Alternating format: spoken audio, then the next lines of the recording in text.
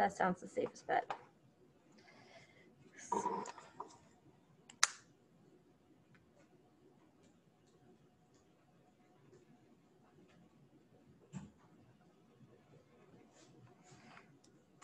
So for the final exam, obviously it covers chapter three or exam three, but it also covers everything else we've talked about. So is there particular topic we want?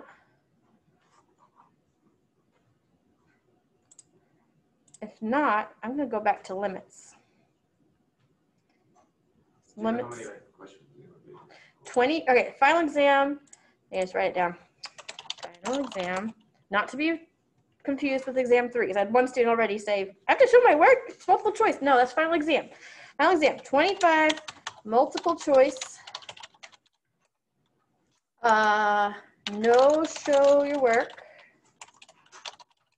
No partial credit.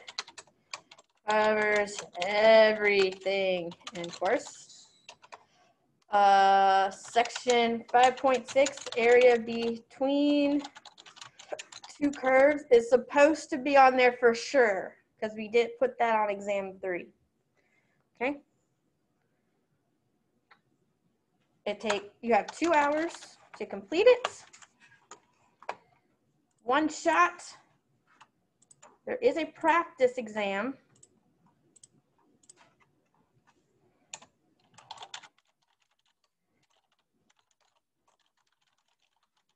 Right now, the practice exam, last time I looked, they only had one try on it, on the practice. And it was a timed two hour exam. So as of right now, you only get one shot. So make sure you write down the problem and show your work. That way you can go back and review later. Because unless they change something, you only have one time to practice. Okay? Any more questions about the general concept? No? All right, so, um, we can do extreme values, we can do, um, well, I don't think derivative and integral we need to do because those are fresh. I think it's the limits that we need to focus on. What do y'all think? Yeah? All right, so there were a couple major topics and limits that we're gonna focus on here then. For example, if I ask you to find the limit as x approaches two of x squared minus four over x minus two.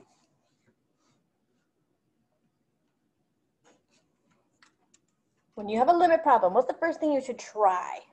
Plug in the X value. Plug it in, all right. And y'all online, feel free to chime in. I have the chat box up and the speakers on, so. If you plug in in this problem, what's gonna happen? The denominator should be the same, Not just the denominator, but the top. the top as well. Whenever the top and the bottom were both zero, that told us we need to do something in particular. Does anybody remember what that was? Zero over zero was usually an indicator that we needed to apply some algebra. So simplifying is the idea. How would you simplify this one? Factor, good. So we have x plus 2, we have x minus 2 over x minus 2. Why is that helpful? because the X minus two gets factored out. Or you Can- can Cancel out, yep. We can cancel top and bottom. So now we're just taking the limit as x approaches 2 of x plus 2. Now just as a review here, what does it mean when you can cancel it from the top and the bottom? We have a hole. Does a hole affect a limit? If you have a line, you have a hole, you have a line. Does that hole affect the value of the limit there? No, the limit is the hole.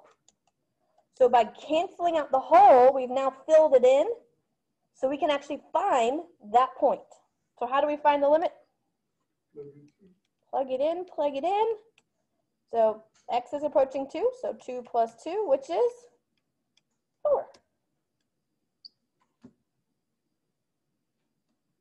Questions? All right, let's make it a little bit more interesting. What if I ask you to find the limit as, hmm, I can make it up, but kind of scared to make it up. X goes to infinity for 3x to the sixth minus 5x squared over, um, hmm, 7x to the eighth minus 5x to the fourth plus 6. There we go. That looks like fun. so what would we do in this case? Because it's a function infinity, you look at the coefficients of the leading exponents. Okay. Now, do you have to show your work? No, because this is a multiple choice. Who cares about your work test? It's right or wrong. Use your time wisely. So in this case, we talked in class about how you have to multiply top and bottom by 1 over x to the 8 1 over x to the 8. But you don't have to do that here. You can use a shortcut because I can't see what you're doing. The shortcut was this. When x is going to infinity and you have a, uh rational function, focus on the leading terms, the highest power of x on top, the highest power of x on the bottom.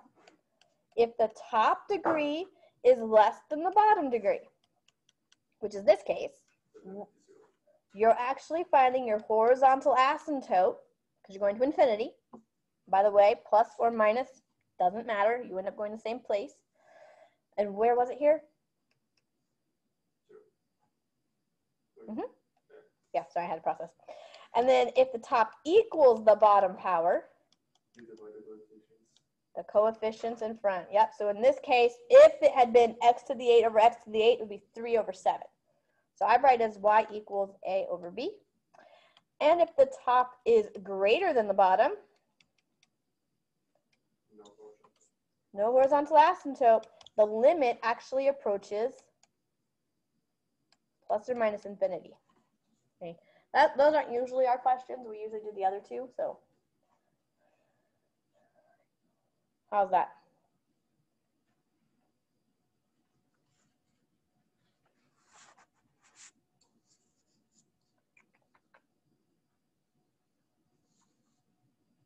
At my notes, seeing what else we need to talk about. Um, those are the main concepts. I can't open the practice exam and do it with you because you're right now we're only allowed to do it once, so that wouldn't be fair. Uh, okay, so here's another topic that might uh, help you. So we've talked about how to find local max and local min, and that's our focus. But remember, there's also the absolute max and absolute min. So in this case, we usually have a function f of x. So let's just make up a function. Um, x squared plus 5. And then this function right here, you could find an absolute max or an absolute min if one exists. You would have to use your first derivative sign chart. But most of the time when we talk about absolute max and min, we usually give you an interval over which to consider. For example, if I ask you just to focus on x values between negative 3 and 7. Let's try this problem. How would you find the absolute max and absolute min here? So you find the derivative. It's equal to zero. Good. So first of all, you do the derivative, which is what? Two 2x. We set that equal to 0. This is called something special. What are we looking for here? The endpoint, not the critical. the critical points. This is also what we did for local max and local min. The difference is we don't just look at critical points here. So this says x equals zero is our critical point. Where else could our, our absolute max and absolute min lie? Not just at critical points here. You also need to consider x equals negative 3 and 7, the endpoints. This was actually a theorem we had. The theorem said if you have a continuous function between, in a closed interval, which we're including negative three and including positive seven, closed interval, you have to have an absolute max and an absolute min. So how do we discover of these three points, which ones are absolute max and which ones are absolute min?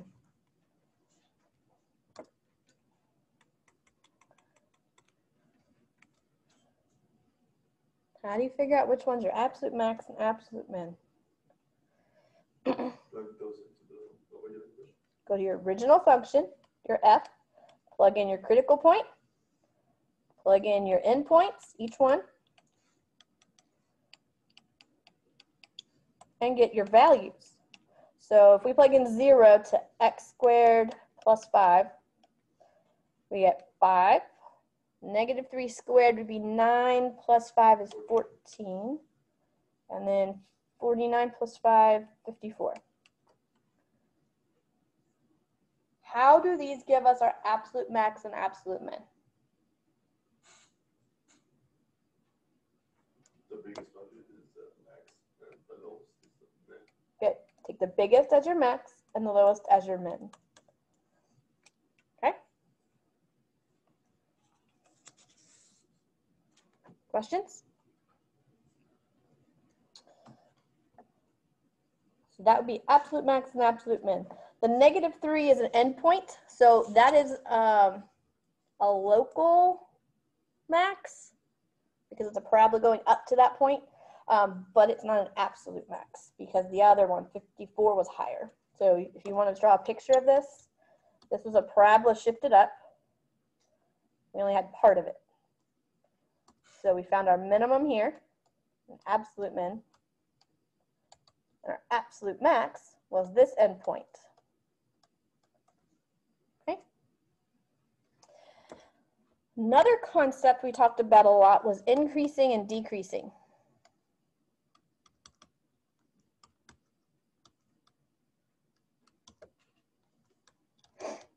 So you may remember how we discovered where a function was increasing versus decreasing?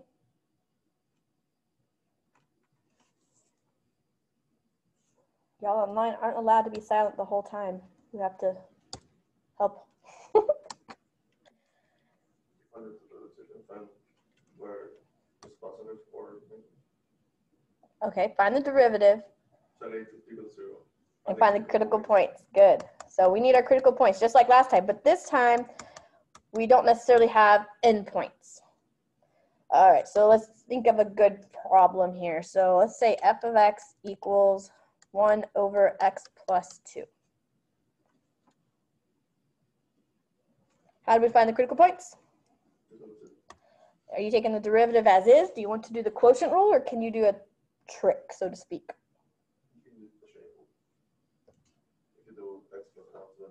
All right, so bring the denominator, whoops, that's not the derivative. So I'm doing algebra here. Bring the denominator up, and then you can just do the power chain rule. So bring the bottom up, negative one power. So now, what is the derivative of that function? Negative x plus two to the minus. And the derivative of the inside, one, doesn't matter. So if we want to rewrite this, we can bring the x plus 2 downstairs with a 2 exponent, a negative, and that would leave a 1 on top. How do we find the critical points? Equal to seven equals zero. or Undefined. undefined. So I chose a fraction on purpose. A fraction is 0 when what happens? When the numerator is 0. A fraction is undefined when the denominator is zero. This only works though if you got rid of your negative exponent.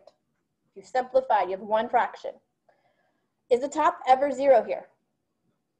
The top is always gonna be what number? One or negative one if you want to put the negative up there. Will never ever be zero. So we don't need to worry about that case. This is a, one of those weird times where zero never happens. Undefined, however, happens when what happens? when is the bottom gonna be zero? Negative two. So uh, negative two is going to be what for us? Critical point. Now, we're trying to determine increasing and decreasing. How did we do that in the past? We'll put it on the sign chart. Yep, this is the first derivative sign chart. That's how I do it. Some of y'all have a different way. As long as it works, I am good with it. All right, so number line, critical point. We only have one in this case.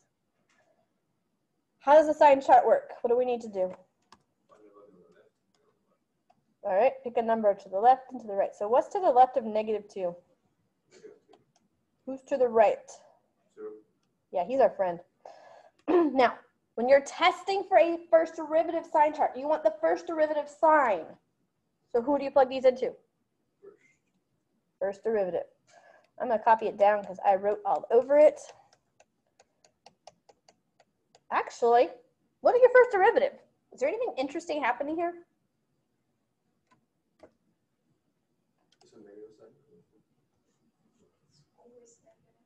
It's a negative sign in front. Why is it always negative? The bottom is always positive, and then you have a negative on it. So this is always negative as a whole. Always negative. So do I even need to test? No, this is negative, this is negative, because the first row is always negative. Which means what? On the first row of the sign chart, the signs are telling you what information? Decreasing and decreasing for negative. How can you have a function that decreases to a critical point and then decreases further? What is this critical point in this problem? If you go into MyLab and you type in the critical point was at negative two, is it going to be happy with you? Talked about this. Probably not. Why not? Go back to the original function. Which is over here. What's happening at negative two? What? Undefined. Undefined. So what's happening? It's a hole if you can cancel it out. It is a jump, kind of. Very, very large jump. Uh-oh. Okay, apparently we need to review that topic. So, if your denominator equals zero, and you cannot reduce, you have a vertical asymptote. So there's a vertical asymptote at this point here.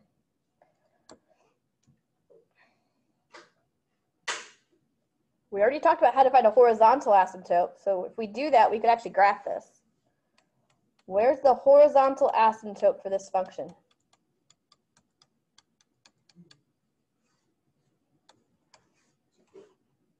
Hmm? It's zero. The degree of the top is less than the degree of the bottom, so y equals zero. With that information, we actually have everything we need to draw this, I believe. So we have a horizontal asymptote at y equals zero. We have a vertical asymptote at our critical point, negative two.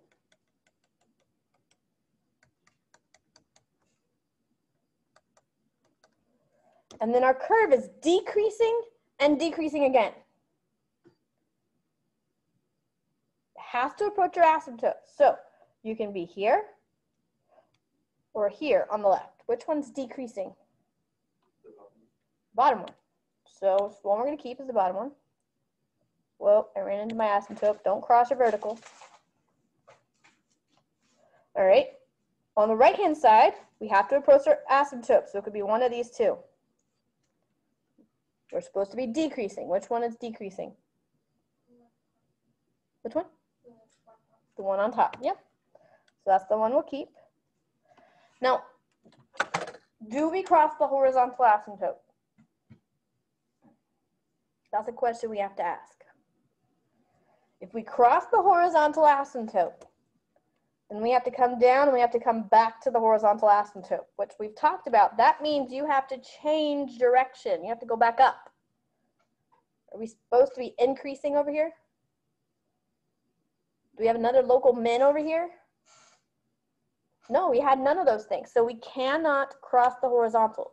You can also check for a point. Take your function, set it equal to your horizontal asymptote. 1 over x plus 2 will never equal 0. Therefore, we cannot cross the horizontal asymptote. Okay? Should we continue on to concavity here?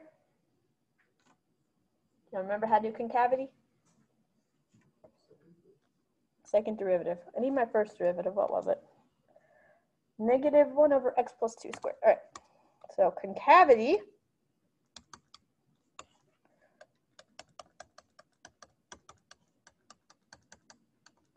We actually don't even need it to graph this picture, but we can use it to check our work. So how do we find the concavity? You said second derivative. In this format, or should we bring it back up? It's easier if we bring the denominator back up to take the derivative. So concavity comes from the second derivative. What would be the derivative of this function?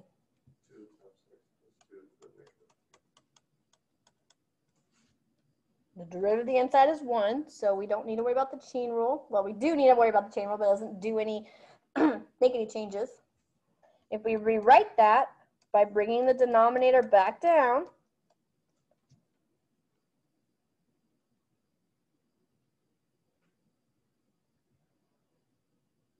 how do we figure out concavity here?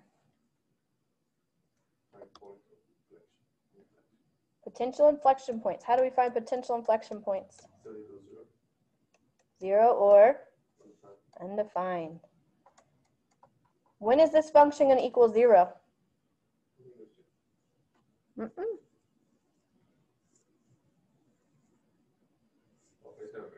Never equals zero. Remember, equals zero is when the top equals zero. Undefined is when the bottom equals zero. The top is a two. The two will never turn into a zero.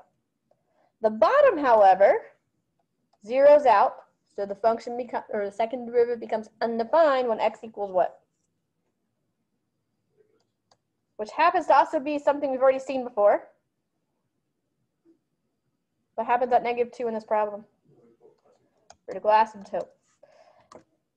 So, second derivative sign chart to um, show our work for finding concavity. So our critical point is again at negative two. I'm gonna mark this as a vertical asymptote. So will we have an inflection point? We don't know yet. Yes, you do. And we don't know the. It's a vertical asymptote. Can you have a point on a vertical asymptote? No, but you can change concavity around a vertical asymptote, so just be cautious. All right, so how do we check for concavity? I guess we can use the same numbers as last time. Test negative three and zero. But who do we plug in, plug them into this time? Second. Derivative. So the second derivative, uh, if I copy it down, was 2 over x plus 2 cubed. Can we use the trick we used last time? Is this always positive or always negative? Not in this case, because it's a cube power. So we actually have to plug it in. So if we plug in negative 3, all I need is the sign. What sign do we get? Negative. If we plug in 0, what sign do we get? positive. So put those on your picture, negative, positive. What do these signs translate to mean? From negative infinity to negative two, it's concave down. Concave down, And from negative two to positive infinity, concave up. very good. Does that match the picture we drew in the last um, part? So concave down, then concave up. Let's go back and look at our picture. This should be concave down. Is it? It's part of a frown. And the other one should be concave up, is it? Part of a cup. Questions?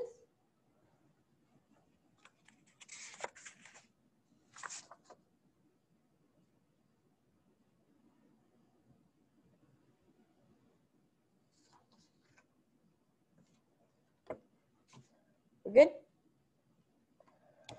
All right, another topic is finding the average of a function. So if you take a function f of x equals x squared plus, do plus 5 again. And you want to know what the average value of that function is on a particular interval. So we can look from 0 to 8. Why not? How would you find the average value of this function? B minus f by over B 1 over b minus a times the integral from a to b of your function. So in our problem, what are a and b? Yep. So a is 0, b is 8.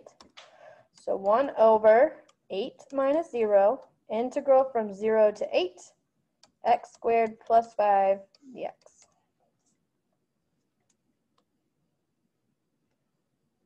So 1 over 8 times, what's the antiderivative here?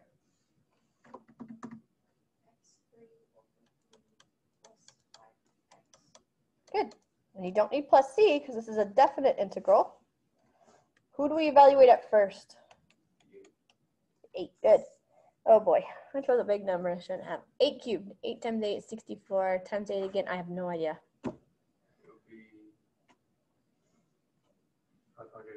It would be five hundred and thirteen, twelve, no, two, 512 five twelve, yeah. over 3 plus 8 times 5 is 40. Minus what happens when we plug in 0? Sure. At least I was smart on that one.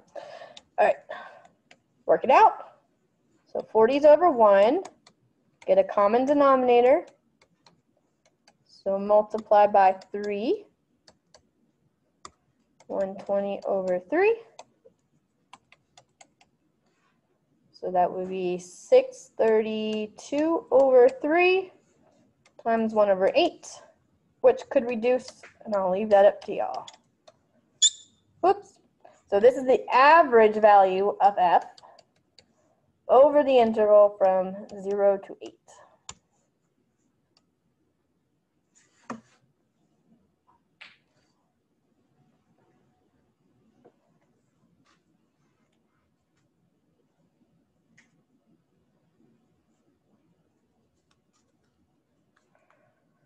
What else?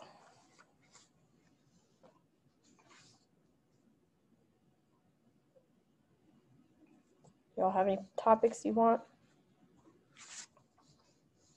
So gonna be a question on the, I forgot what's it called, you know, the percent error thing? Find the percent of error, No. is that be a question on that? Yeah, no percent error question.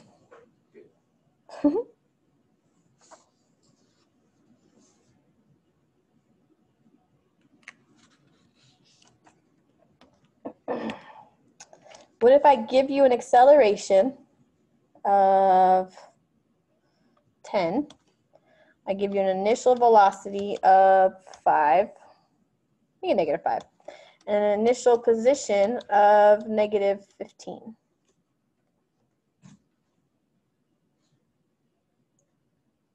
Can you find the position function?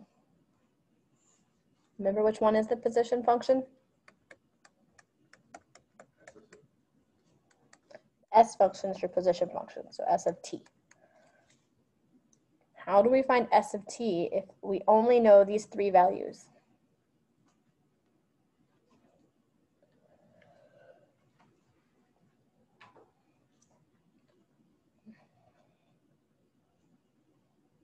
Since a is equal to ten, that means the velocity needs to be ax minus five. And then s needs to be ax squared plus bx minus fifteen, and then that's how we can find it.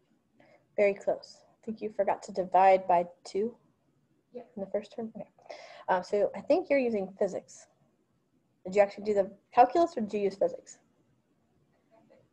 You use physics, yeah. All right, so here's the tricky part. the V and the S are the values at one particular time, T0. What about A? Does it have particular time? This is at any time T. A is always going to be 10, which means this is actually the full function A of T. So if you want to go back, remember there's a relationship. If you, here, let's review that real quick. Position function, the velocity function, the acceleration function. What's the relationship between all three? The derivative. of each other. Velocity is the derivative of who? Position. Acceleration is the derivative of velocity, or the second derivative of position. They're giving us A. How do we get back to S? We take the antiderivative. So the velocity is the first one we go to because the antiderivative of acceleration is the velocity. So in- integrate A of t dt. And then that would be integral of 10 dt. What's the antiderivative of 10? 10t plus c. Good. But they told us that v of 0 is equal to negative 5. If this is your v function, what does that mean? Good. Plug in your 0. So 10 times 0 plus c is equal to the negative 5. Well, 10 times 0 is gone. That tells you your c. So v is 10t minus 5. But that's not what we want. We got to get all the way back to position. So how do we get from velocity back to position? One more antiderivative. So s of t is the antiderivative of velocity. And since we know our velocity, we can plug it in.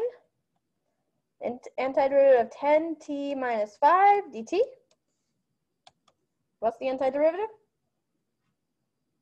Five D squared minus five X plus D plus C. So there's your position function, but what are we missing?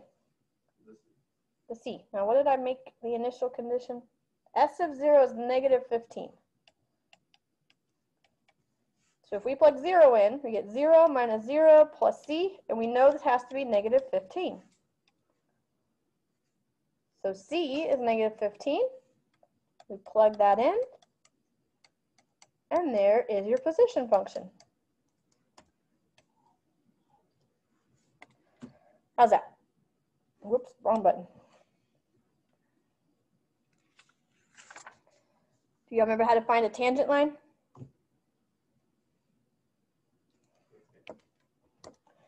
If, let's see, if you have a function f of x equals,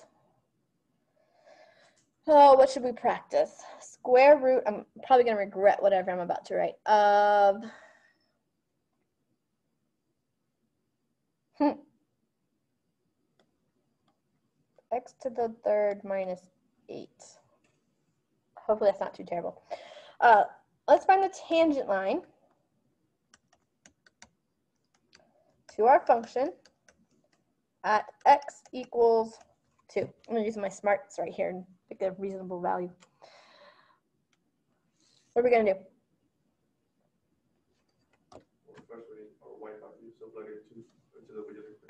Okay, so y equals f of 2. So cube root of 2 cubed minus 8. 8 minus 8, or 0. So there's the y value and the x value. How do you find a line? What else do you need? Slope.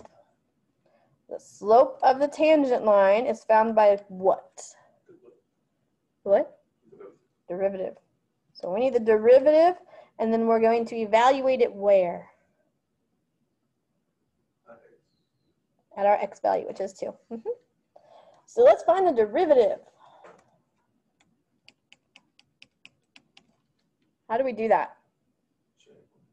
Chain rule. I'm going to rewrite it first, make sure everybody's understanding. The square root, we don't have a rule for, but the power of 1 half is the same as the square root. Now we have a rule. All right, so power rule. 1 half comes down. What happens to the inside? Stays the same. What's your new power? Negative one. Negative 1 half. Are we done? Times the derivative of the inside. 3x squared. We need to evaluate this at uh, 2. So let's clean it up and then we'll plug it in. So fraction, let's see, we have the 1 half. So 2 goes on the bottom, 3x squared is on top, and then this disaster here, if we bring it downstairs, it's actually going to be a square root, or you can leave the 1 half power. of the x cubed minus 8. If we plug in 2, I chose a bad one. What happens? The denominator. It's undefined. So the slope, so yeah. Good. I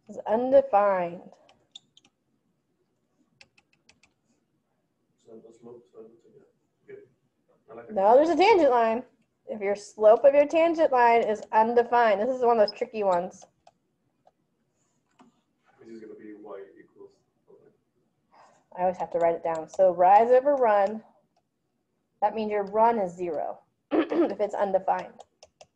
So get from point to point, you rise, so it's gonna be a vertical line, not a horizontal line. Undefined slope means, what did I just say? Vertical line. Y equals our Y value, which was zero.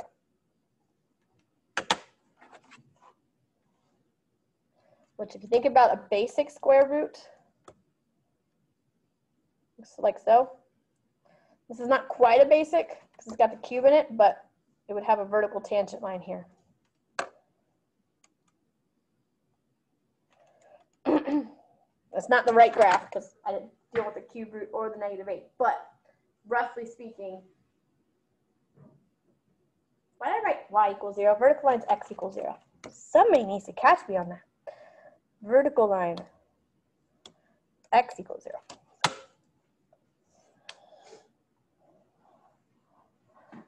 All right. Anybody online have any suggestions? Anybody in the classroom have any suggestions? We need to do any U sub practice. Um, area between curve, no, area, area between curves is on this test because that's 5.6. Um, definitely on the final. Area under a curve could be on exam three. Do we need to practice those at all? U sub. Love the sound effects. Was that a hand being raised? Because I can't see anything when I'm sharing my screen.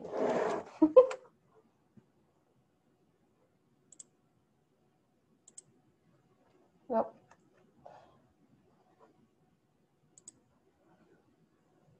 I'm running out. I'm out of ideas. I did limits. Did I miss anything in limits?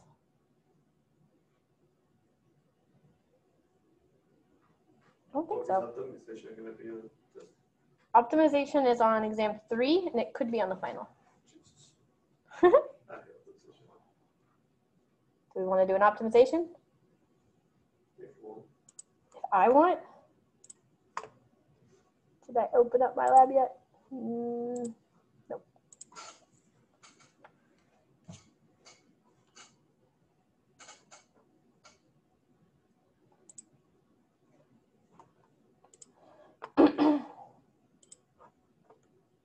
That's probably the last problem we do unless y'all tell me you have something else. Practice for exam three. Let's go in there and find an optimization. I did a couple of my class earlier. All right, so we have minimize the rectangle perimeter or farmland bounded by a river. So a rectangle with a river on one side. Or we have a right circular cylindrical can.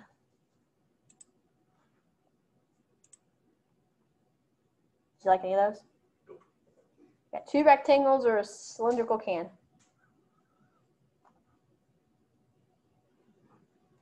Somebody give me, tell me what they want.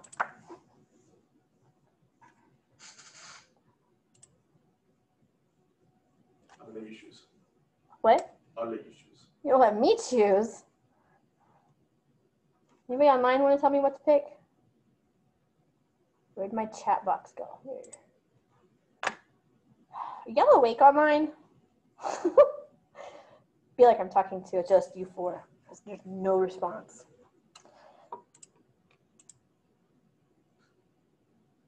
Right, come on, guys. I cannot pick. You have to pick.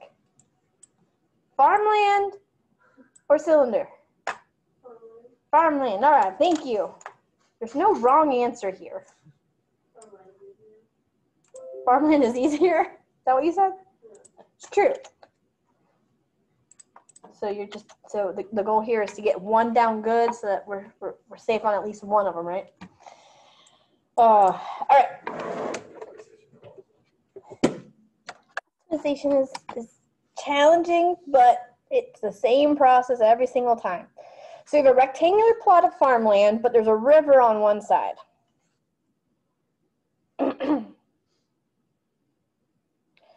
Um, on the other three sides, you have a single strand electric fence with 2,300 meters of wire at your disposal. What is the largest area you can enclose?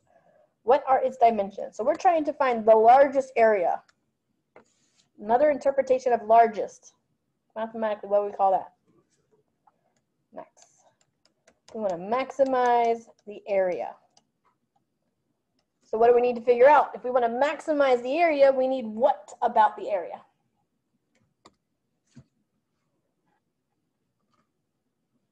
What do we need to know about the area in order to maximize it?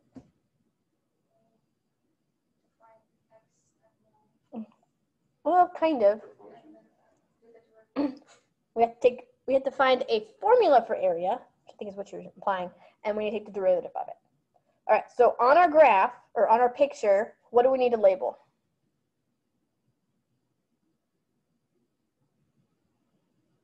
I have no idea what the area is because I have no labels whatsoever. How long is this side? I don't know. So what do we call it? X. How long is this side? Yeah, we don't know, so we call it y. It's a rectangle, so we're assuming they're different. Granted, a square is technically also a rectangle, so they could be the same, but we'll find that out when we do the math. All right, so if the bottom is x, the right side is y, how long is the top?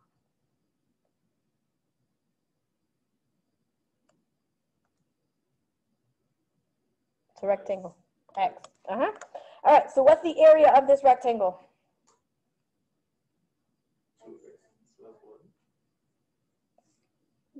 That would be perimeter, 2x plus y. What'd you say? X times x times Y. There we go. But you were right. The perimeter is 2x plus y. What else do we know about the perimeter? It's equal to 2300. They told us how much wire we have.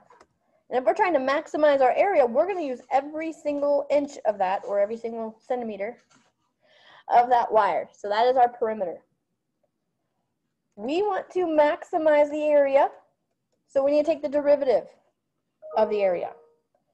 That is a problem right now. Why is that an issue? It's not about not knowing x and y, it's that we have two variables. If you have to take the derivative of this, you have to use implicit. You're gonna have product rule, you're gonna have dx, d something, dy, d something. Yeah, what do we do? We wanna simplify this. In optimization, find your formula and then try and figure out a way to make it easier. Make something equal to. So make y equal two X or something like that. Good. Use your perimeter to solve for one of the variables and then plug it in. So which one's easier to solve for here? Y. All right, so y equals 2300 minus 2x. Plug it in. So area equals x times 2300 minus 2x. And what did we say we need to do to area? Find the derivative. As is, we'd have to use what rule? Do we want to use product rule? What's our other option? Algebra. Distribute your x, and you don't have to use product rule. So 2300x minus 2x squared. What's the derivative? Four. Good. we have the derivative. How do we find out the mm, um, the maximum area? Equal to zero. Solve for x. I'm gonna bring the 23. No, no, leave the 2300. I'm gonna bring the 4x around. That way everything's positive. Divide by the 4, Five seventy. And that's x. What is that value? Five seventy. 575. But is that what it asked us to find? Go back and look. What is the largest area you can enclose and what are its dimensions? So X is what information? Dimension. One dimension. How do we find the other dimension and how do we find area? Plug it in. To what? Param, yeah, you said right. Perimeter formula. Uh, 2300 minus 2x. So 2300 minus 2 times 575. Calculator. 1150.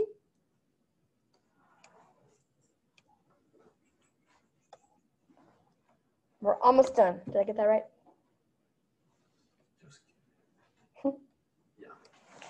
How do you find the area?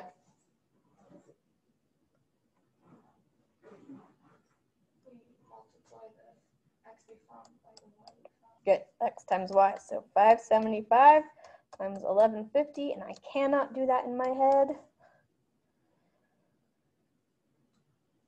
Six six one two five zero. And this would be meters squared. That's enough. That's, A lot of area. that's a lot of area. Nice big pasture. All right, I have two minutes left. Uh, exam three closes tomorrow night. You have to show your work for exam three, upload it to Canvas. Um, final exam, there is a practice, please use it. I'll send out an update if they tell me they're gonna change how many times y'all can take it, but as of right now, it's one shot practice exam. So please use that appropriately. Oh, I've got attendance uh, do that before y'all disappear.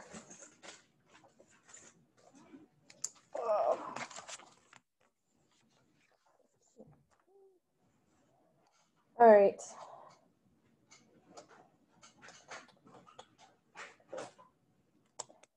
I still haven't learned all y'all's names. So hard when I don't see y'all four times a week. All right, help me. It's either Gianna or Sierra. Which one? Gianna. All right, got that one. And I think you were Lynn. Yeah. Hey, I'm not as bad as I thought. Mm, I won't. No, I'm gonna get it wrong. So go ahead and tell me. Surprise. What? Surprise. Surprise you? Oh, crud. I say Jordan. Walter. Walter. Where's Walter? Oh, there you are. All right. Um, I won't say Zachary, but hey! Okay, and everybody online, I can cheat because your names are up there. Stop sharing.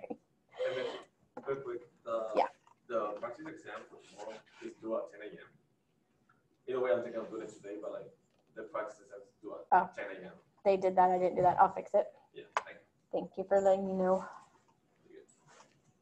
Oh, I mean, I'm thinking of doing it today, but just in case I forget. Yeah. Jackson, what class are you in? Oh, there you are. Found you. Jordan. Got you. Joseph. All right, everybody online, I got y'all. Thank you. If y'all need anything, let me know. Have a wonderful Thanksgiving.